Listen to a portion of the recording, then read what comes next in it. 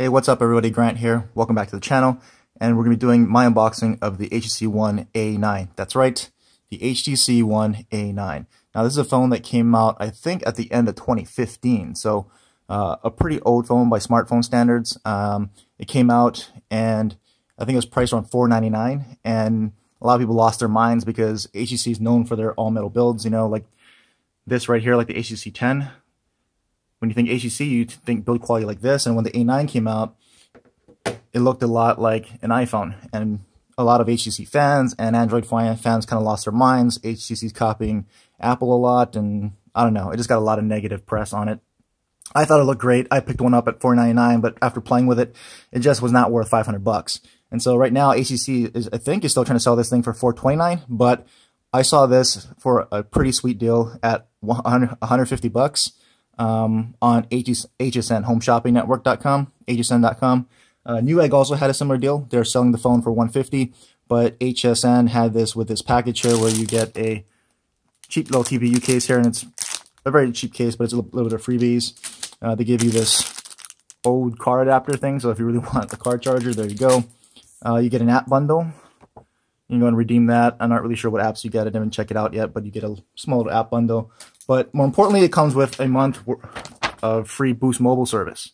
So you can go and redeem a month of free Boost Mobile service included with that $150 price, so long as you do it within 60 days of your purchase date. So that's pretty cool there. But at 150 bucks, I thought I'd pick this up again to give it a spin here in early 2017 while we wait for all the flagships to be announced and released after MWC at the end of this month.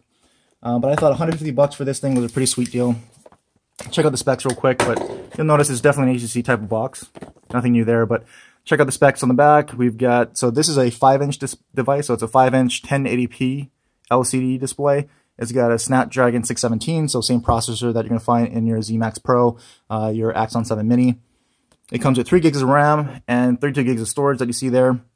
It does have micro SD card support up to, up to 2 terabytes. It does have a 13 megapixel rear camera at f over 2.0 aperture, but it does have OIS. So having OIS on a phone, you know, in this price range is pretty good. And like we said, it's got that uh, it's got a front-facing ultra pixel camera. It does support, like in true HTC style, it supports high-res audio and Dolby audio. So you should get really good audio quality if you plug your headphones into this thing. And it definitely has a headphone jack, because in 2015, right? So all your basic specs are there.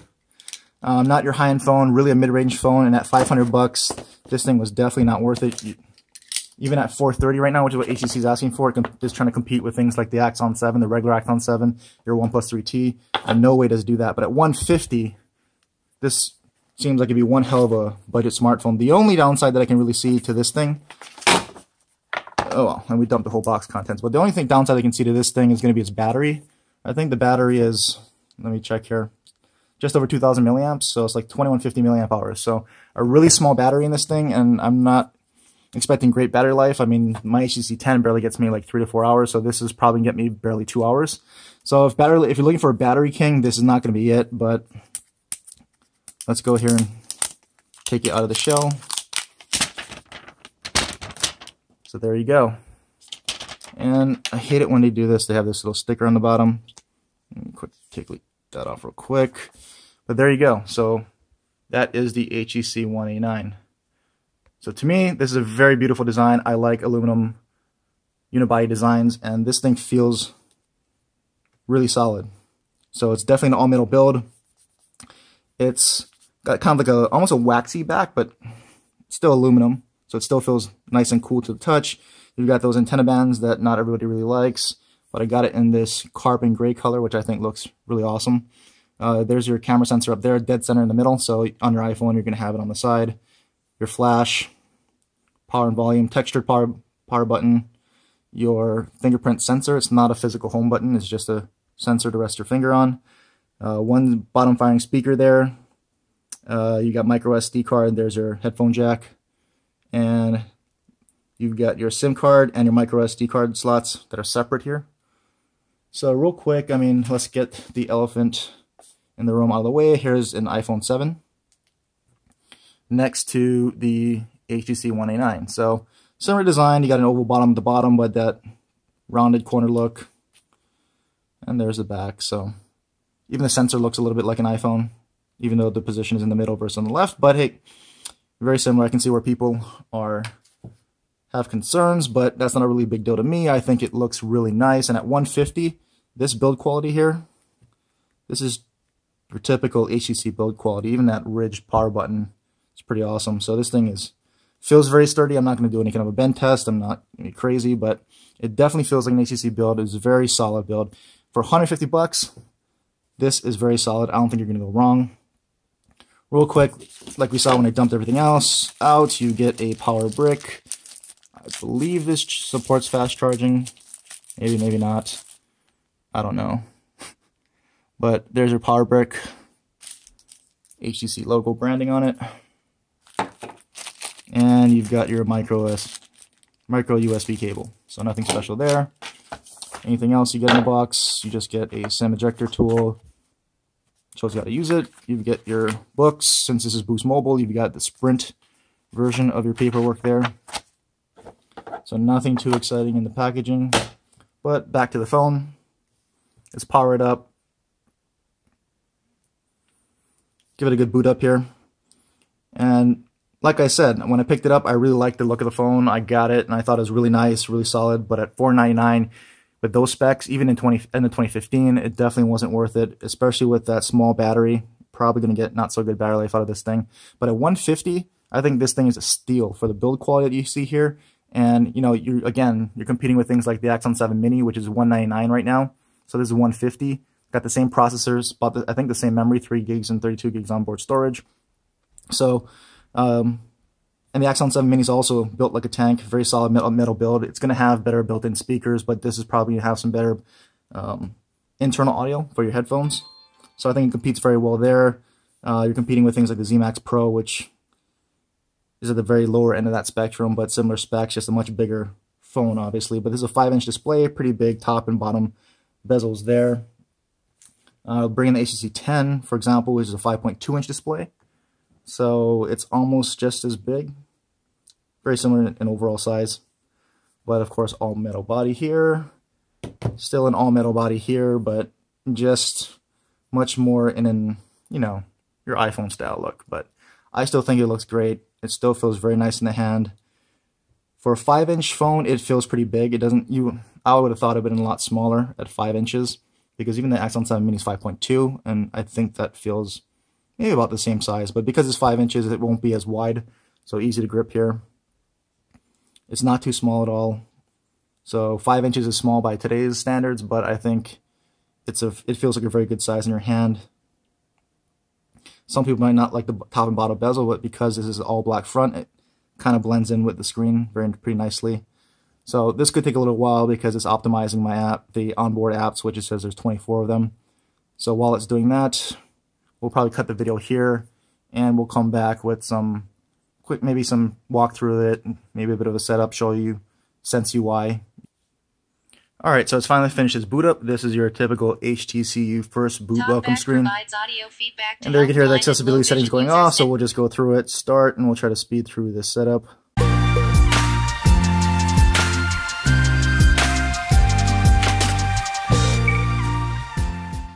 Scanner here. One, two, three, four, five, six, seven, eight, nine, ten, eleven, twelve, thirteen, fourteen, fifteen, sixteen, seventeen taps to set up a fingerprint. Not too bad. Not the fastest setup, but definitely not the worst. And let's see, what do I want to do? Name the phone, finish it up. Congratulations, thanks very much. Finishing setup. And we're in. So this is your stock HTC Sense home screen here. So we can personalize things around. Pinch to zoom, pinch in, you can set up all your widgets and stuff. We'll just go back. There's a launcher. So pretty snappy here, just moving around. So the 617 is not really a bad processor. It's just not going to be you know, for everyone, especially if you're doing a lot of heavy lifting. But for everyday use, you know, if you're just going through basic apps, social media, email, and all that, like you can see here, I'm just flicking through things. Seems pretty good. open up a couple things. I don't really have any internet connection on, so I won't do much, but open up a few things. We can see here, there's your card stack and your app switcher, recent apps. So just moving through a few things. Pretty snappy. I don't see any initial lag or jitteriness, you know, so that's good. We'll see as we start using it. I don't expect it to be. From what I remember when I briefly used this, it was a pretty smooth phone for, for these specs for a 617 processor. Got 3 gigs of RAM. That combination usually performs well enough. I mean, if you're going to do heavy gaming and stuff, you're a big heavy user, that may not be for you, but for, like I said, for everyday basic things and just moving around the UI, that's more than enough to have a really smooth experience here on Android, especially with the HTC Sense UI they got here. If you go into settings, here's what settings look like in Sense UI. about, we've got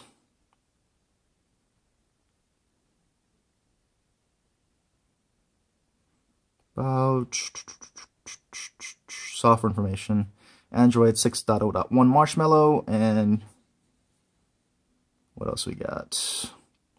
Security patch level May of 2016, so we'll see if we get any updates on this thing. But there you go, your typical settings are your connection settings, personalization, wallpaper, themes. So I guess HTC has some themes. So you got a bunch of theme options. So there's its theme engine there. What else? You got a fingerprint scanner. So we set up one. So let's see how it is. Uh, got to enter my PIN the first time or else it's not going to work. So let's try that again. There you go. So pretty fast scanner. It's not going to be your fastest, but as you can see, it works, right? So for 150 bucks, I'm not complaining. No problems with the scanner there. Here's our BoomSound. So once you have headset plugged in and whatnot, you can play around your boom audio, BoomSound audio settings. Now it's not going to have the greatest speaker audio quality because you just got that speaker there, but internal audio quality should be really good if you plug in some headphones. We'll play with that. There you go. Yeah. So pull down menu, Looks pretty stock right there. Nothing fancy, nothing changed, pretty stock. Alright, so there we go. Quick uh, run around the UI here. Everything's fairly snappy as you expect because we don't have a ton of apps in it. We barely started using it, but first impressions, just moving around, clicking around, scrolling around. Very fast, very fluid. No problems there so far, but once we get everything loaded up, we'll come back and let you know how it's performing. Uh, we can get the camera here real quick. So jump to the camera app. We'll Get our HTC 10 out there. We'll tap to focus and we'll just take a quick shot. So real quick shutter speed. So to the picture really quickly. Uh, and it looks really nice actually. So I don't think it looks as good in the viewfinder here. But in person looks real nice. Of course, we've got some pretty good lighting here. You can see the ridges on that power button. So pretty good there. It's got OIS. I expect it to be pretty decent performer there. Um, HTC is not maybe the best in camera, but you know, again, 150 bucks. It's got OIS in it. It should be fairly decent. But we'll test it out. We'll let you know. I'm really looking forward to trying out um, and seeing how battery life holds up on this thing because again, barely over 2,000 milliamp hour battery. I'm not expecting miracles here with the battery, um, but that's the one thing that's probably gonna be the one downside that I can see so far because the build quality, like I said, is very nice. The camera seems pretty decent. Uh, performance seems to be on par with other mid-range phones with that 617 processor in it.